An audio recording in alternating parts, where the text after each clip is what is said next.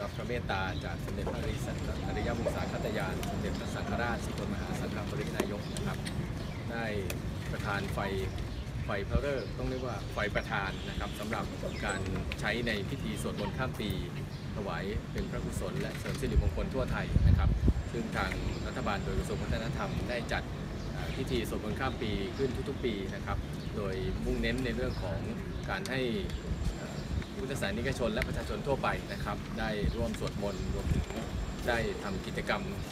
ทางด้านศาสนานะครับรวมถึงเป็นการเป็นศูนย์กลางนะครับ ในเรื่องของกิจกรรมที่เป็นศูนย์กลางของคนทุกๆครอบครัวนะครับ เมื่อช่วงเทศกาลปีใหม่ก็จะกลับภูมิลำเนานะครับเข้าจะได้มีกิจกรรมทั้งในเรื่องของการเข้าวัดฟังธรรมและในช่วงวันข้ามปีก็จะเป็นกิจกรรมสวดมนต์ข้ามปีนะครับ ทั้งนี้นะครับ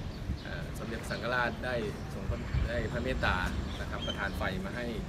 ทางกระทรวงวัฒนธรรมก็จะได้มอบไปยังวัฒนธรรมจังหวัดทั่วประเทศนะครับ เพื่อนำไปถวายแด่ทางเจ้าคณะจังหวัดนะครับ ทุกจังหวัดเพื่อที่จะไปมอบให้กับท่านเจ้าวาดทุกวัดนะครับทุกวัดในประเทศไทยที่จะได้นำไฟประธานที่สมเด็จพระสังฆราชได้ประทานในวันนี้นะครับได้ ได้ใช้ในพิธีนะครับ ก็ถือว่าเป็นปีแรกนะครับ ที่ได้ทรงพระเมตตานะครับที่ทางกรมการศาสนาทางกระทรวงวัฒนธรรมได้ขอประทานไฟนะครับ เพื่อที่ใช้ในพิธีสวดมนต์ข้ามปีนะครับ ก็นับว่าเป็นสิริมงคลอย่างยิ่งสำหรับพี่น้องประชาชนทุกคนนะครับ ไม่จำกัดแต่พี่น้องชาวไทยเท่านั้นนะครับ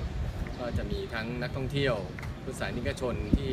มาท่องเที่ยวในประเทศไทยในช่วงเทศกาลปีใหม่นะครับ ก็จะได้เข้าร่วม ในพิธีสวดมนต์ข้ามปี